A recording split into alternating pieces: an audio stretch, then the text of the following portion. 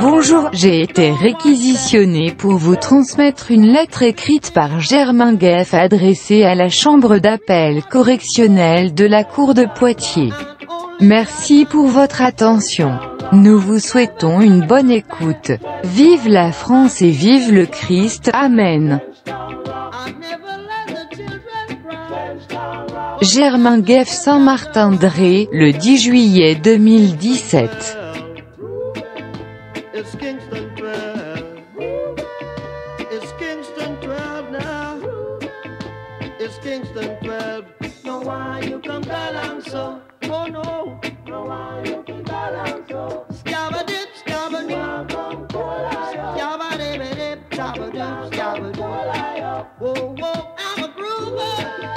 I'm a Germain Gueff Saint-Martin Germain Gueff Saint-Martin-Dré, le 10 juillet 2017. Maison centrale, la caserne, 17 410 Saint-Martin-Dré Chambre des appels correctionnels Cour d'appel de Poitiers Place Alphonse le Petit CS 30, 527, 86, 020, POITIERS CEDEX Objet. Demande de confusion de peine mémoire personnelle versée au soutien de la demande de confusion de peine que j'ai introduite ce jour par déclaration faite auprès du chef d'établissement. Mesdames et messieurs, les présidents et conseillers, y sur la recevabilité de ma demande au terme de l'article 710 du Code de procédure pénale toute juridiction ayant prononcé une des peines dont la confusion est demandée, est compétente pour en connaître. Et pareillement la juridiction équivalente dans le ressort territorial de laquelle la personne condamnée qui introduit cette demande de confusion de peine est détenue. Chacune des cinq peines dont je demande la confusion ayant été prononcée par une chambre des appels correctionnels et la maison centrale de Saint-Martin-Dré et établissement pénitentiaire dans lequel Personne condamnée, je suis actuellement détenu, étant situé dans le ressort de la Cour d'appel de Poitiers, sa chambre des appels correctionnels est compétente en l'espèce et aucune des peines dont je demande la confusion n'ayant jamais été l'objet d'une demande de confusion, la recevabilité de ma présente demande est pleinement rapportée. Donc passons maintenant, si vous le voulez bien, à sa légitimité et à son bien fondé, page 2. Sur la légitimité de ma demande je suis incarcéré depuis le 17 janvier 1998 sur la base d'un mandat de dépôt qui a été délivré contre moi à cette date dans le cadre d'une procédure criminelle.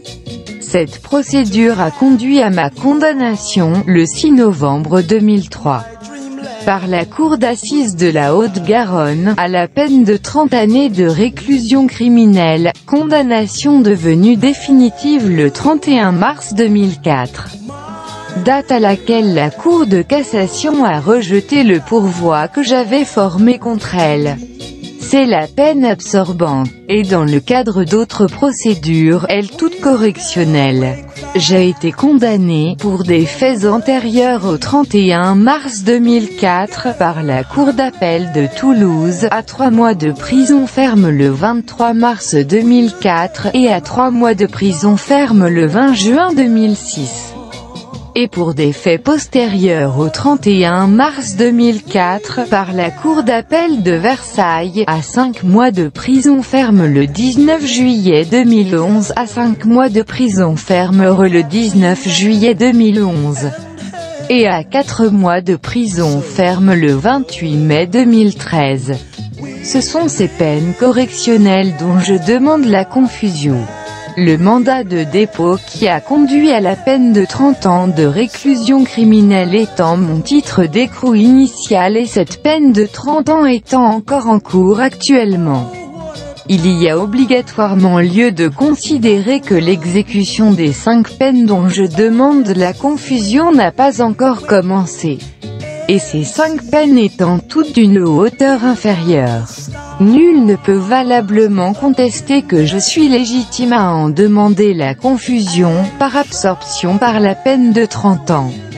Donc passons à présent, s'il vous plaît, au dernier point de ma demande sont bien fondés, page 3, sur le bien fondé de ma demande concernant les deux peines de trois mois prononcées par la Cour d'appel de Toulouse.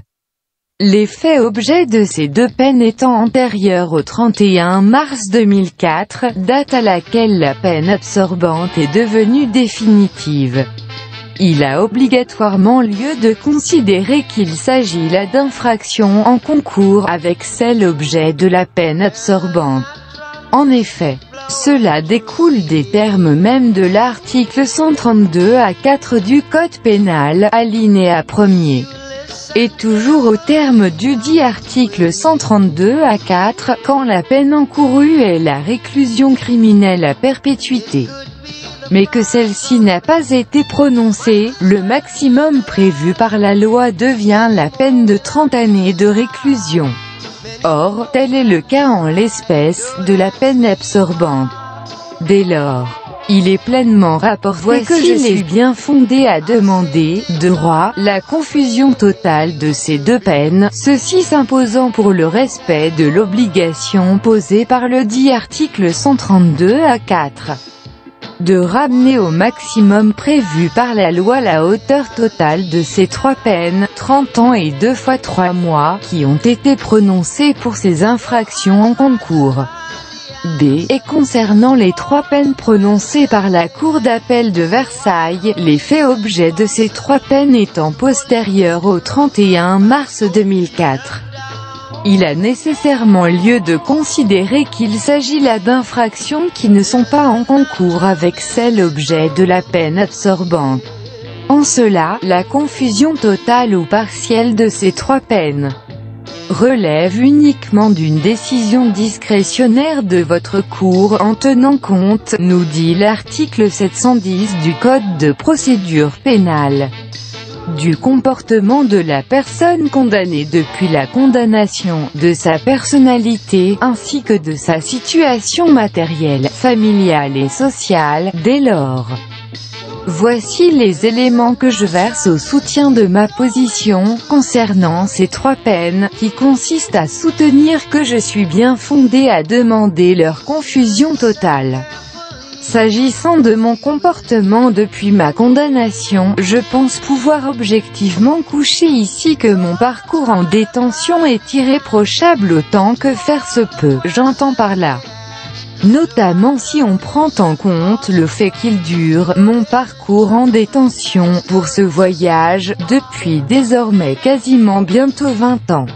En effet, Autant il est pour le moins facile sur une durée d'incarcération de 20 jours de n'avoir nul escarmouche ni énorme conflit, tant avec les membres du service pénitentiaire et compagnie, infirmières, visiteurs, travailleurs extérieurs et bénévoles, qu'avec ses co-détenus, autant, à l'inverse, arriver à les éviter sur un séjour pénitentiaire ininterrompu pendant 20 ans, relève d'un petit exploit pas À cet égard, je revendique carrément, cette fois, pouvoir vous mettre au défi de trouver ne serait-ce qu'un agent pénitentiaire qui vous dira que j'ai eu à son endroit. Ceci fut sans une seule et unique occurrence, un comportement inapproprié ou discourtois, voire aucun qui n'estime pas que je suis quelqu'un de bien, toute proportion gardée, évidemment à savoir pour le respect exiger des règles de base de vie forcées au sein d'une communauté, pour que cela ne tourne pas sinon, et très vite, au vinaigre. Vos fonctions vous donnant tout pouvoir de vérifier mes dires, je vous saurai infiniment gré d'y procéder, car je sais pertinemment que, quel que soit l'établissement pénitentiaire qui m'a reçu, auprès duquel vous vous en enquérez, vous entendrez le même son de cloche, aucune fausse note. Quant aux procédures disciplinaires dirigées contre moi, deux d'entre elles ont accouché, au forceps, d'une décision de sanction. Mais dans les deux cas celles-ci ont été annulées par la juge administratif, ceci parce que les faits reprochés ne matérialisaient nulle faute disciplinaire, ce qui, ma foi, est loin d'être un euphémisme. Dans la première procédure, l'agent pénitentiaire auteur du compte-rendu d'incident a fini par reconnaître d'une part qu'il lui avait été impossible d'identifier le produit ou la substance qu'il a trouvé dans ma cellule, qu'il pensait peut-être pouvoir être illicite. Et d'autre part les faits qui m'étaient reprochés dans la deuxième procédure étaient d'avoir tenu des propos insultants et outrageants envers Manuel Valls, alors ministre de l'Intérieur, mais cela Attention, dans le contenu d'une chanson que j'avais chantée à ma mère, au téléphone, ce jour-là. Or, si certes, dans cette chanson, trompette, nazie refoulée, disponible à la vente, en CD sur Dieudosphère, et en téléchargement gratuit sur le site officiel de l'atelier de chansons potache, je fais état de quelques petites vérités, qui, par nature, sont blessantes pour quiconque ne considère pas le parjure et la traîtrise en politique, comme un ignominie révélatrice chez celui qui s'y livre de la félonie et d'un esprit pervers qui l'habite au plus profond, tout particulièrement pour quelqu'un qui est aux commandes de la force publique. On a vu ce que cela a pu donner pendant la guerre. Si certes, dans cette magnifique reprise de « Trompette de la renommée » de Georges Brassens, c'est certain, je ne m'inscris pas au nombre des citoyens qui apprécient le catalan susnommé. Comme l'a rappelé le tribunal administratif de Versailles, dans son jugement du 24 mars 2017, les dix propos ayant été tenus à l'occasion d'une conversation strictement privée.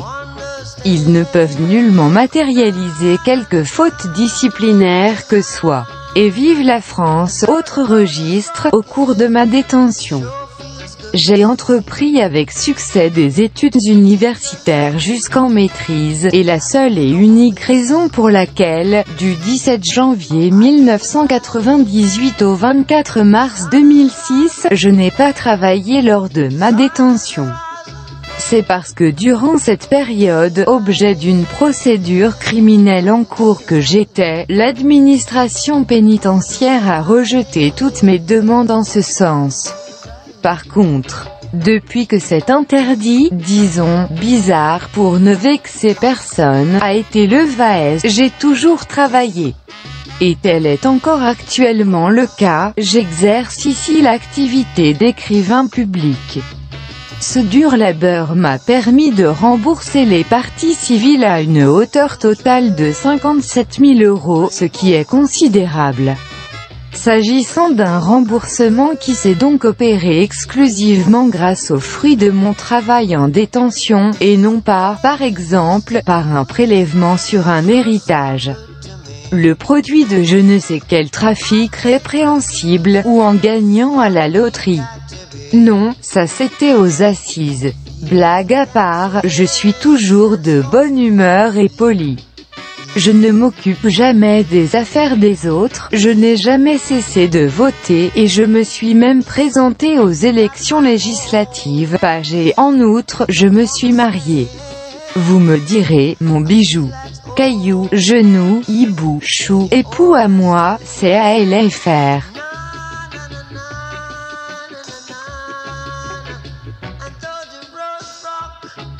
Edo Stranieri, alias, le tueur aux petites annonces dit, le vilain, coucou, et en privé, bichon, toutefois, premièrement en prison comme ailleurs, on fait avec ce que l'on a sous la main.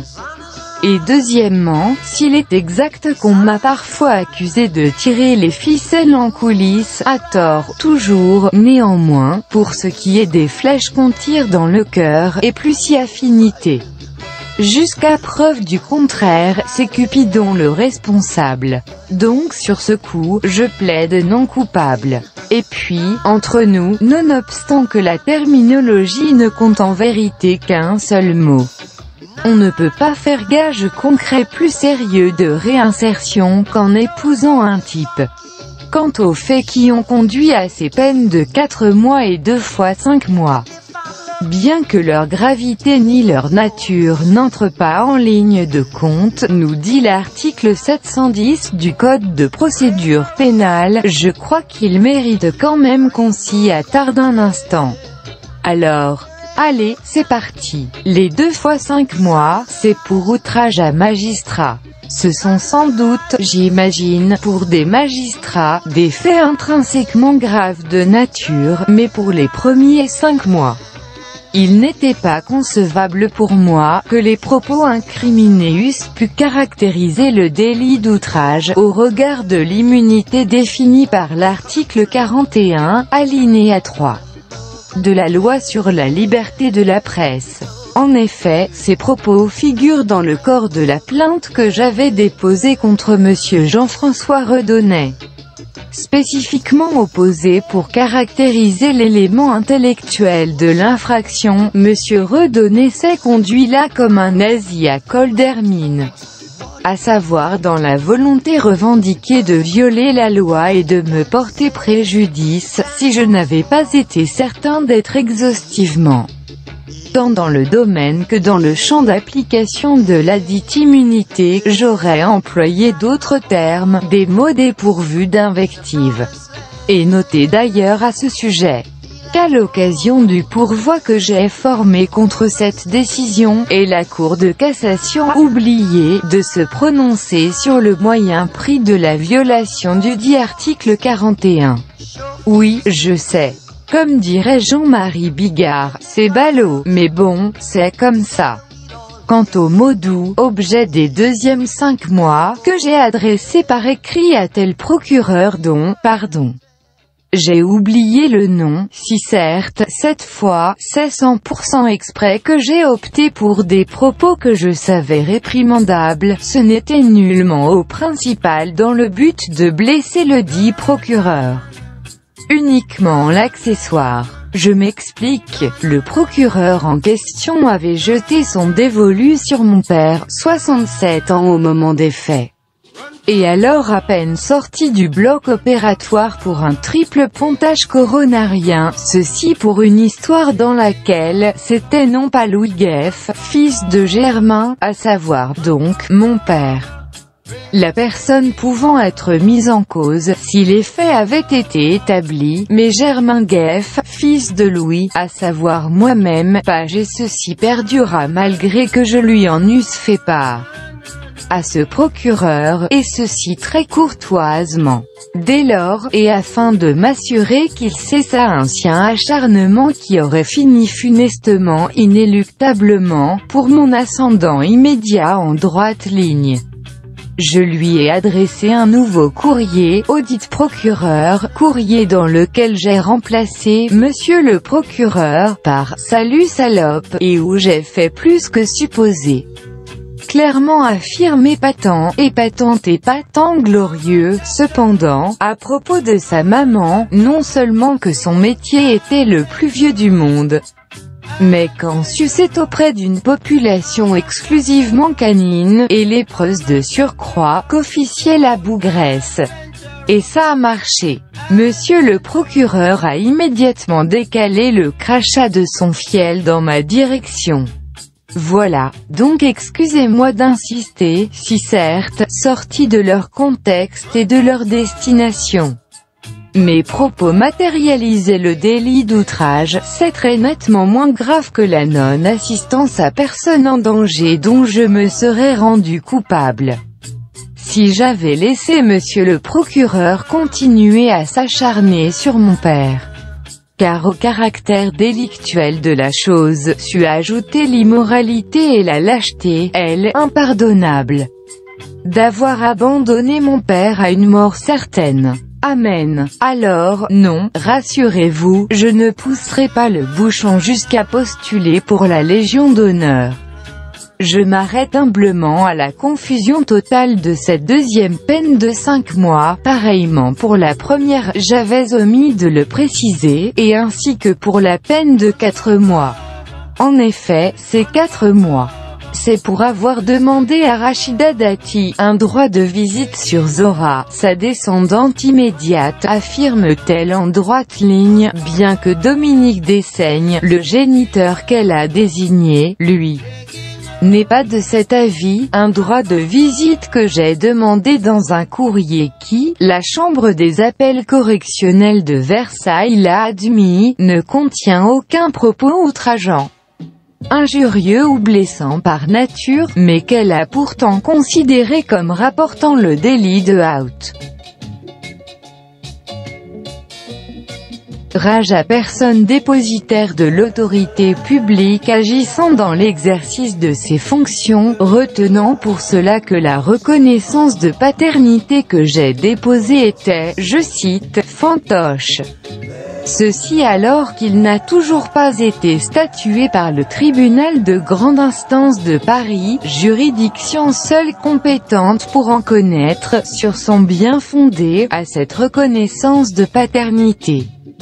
Premièrement, et deuxièmement, ce courrier était adressé à Madame Rachida Dati et non au maire du 7e arrondissement de Paris, d'une part, et d'autre part. L'ayant sollicité non pas pour une place en crèche mais d'un de droit de visite sur sa fillotte.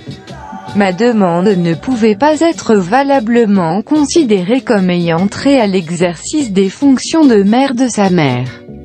C'est amer, Homer. Mais, elle l'a, là encore. Lors de l'examen du pourvoi que j'ai formé contre cette décision, la Cour de cassation a oublié de se prononcer sur le moyen prix de la violation manifeste et de la loi et de la jurisprudence constante par laquelle elle a consacré l'impossible caractérisation du délit d'outrage à un maire dans l'exercice de ses fonctions. Si les propos incriminés ne visent pas expressément sa qualité de maire, ou si leur objet n'est pas indéfectiblement lié indéniablement rattachable à l'exercice des fonctions que la loi désigne comme étant celles dévolues au maire. D'heureux chef, quatre mois ferme, putain, ça fait cher la blague. Mais bon, que ne ferait-on pas pour mériter la fierté de sa fille? Ou comme disent alors immondes et sales bourreaux, celle de ces malheureuses jeunes femmes séquestrées, torturées et violées par les très vils assassins, pilleurs et tortionnaires, au nom de Dieu, de Boko Haram, qui malgré ça ne se sont pas départis de leur finesse d'esprit. Comme elles leur disent en vain. Quand la séance de lapidation conjugale quotidienne commence, que celui qui n'a jamais péché, me jette la première pierre, page et à tous les psychiatres psychologues et autres charlatans inscrits au registre de commerce et agréés ou non près votre cour d'appel ou une autre, qui me taxe d'être psychorigide et asocial. Je fais mes excuses les plus plates, j'ai beau mes forces, de ne serait-ce qu'essayer de conceptualiser la chose, je n'y arrive pas. Non, je ne peux pas, comme leur chouchou. Les gentils pédophiles chez qui ils trouvent toujours toutes les qualités humaines possibles, et à propos desquels ils assurent qu'ils ne présentent, eux, aucun risque de récidive.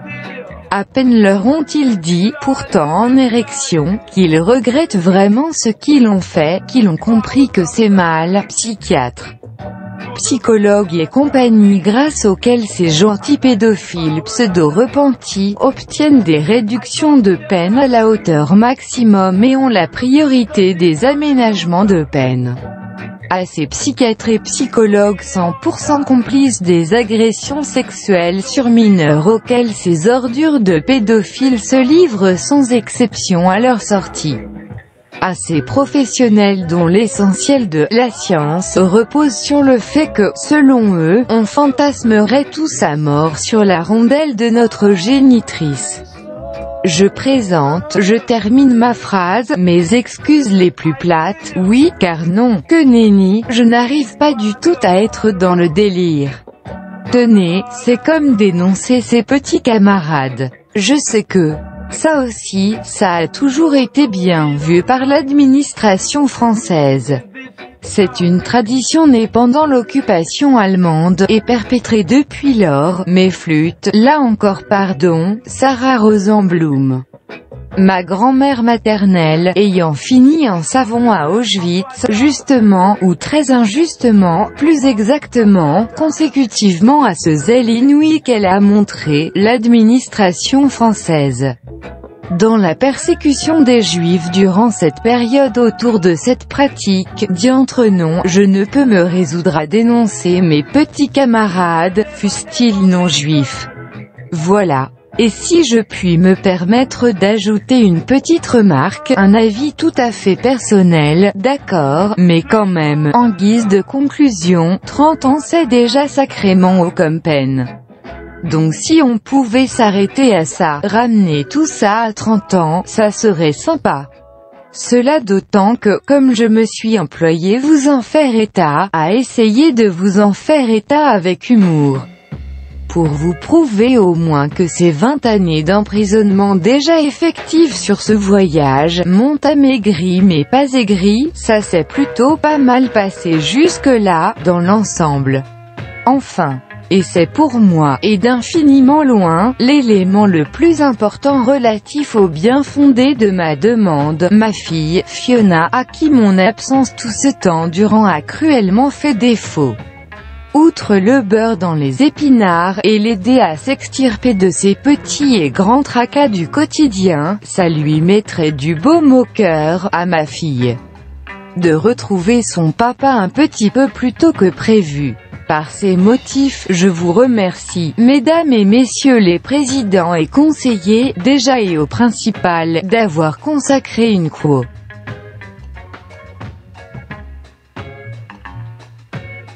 quantité substantielle de votre temps à la présente, et ensuite et par avance, d'inscrire ma demande au rôle de la plus proche possible audience de votre cours. Et quelle que sera la suite favorable ou non, que vous lui donnerez, je vous prie d'agréer, tous autant que vous êtes, ainsi que monsieur ou madame votre greffier, et bien sûr également l'huissier d'audience, la sténodactylo le responsable de la sécurité et son homologue de l'accueil. J'espère sincèrement que je n'oublie personne. L'expression de mes salutations distinguées, page Germain Geff.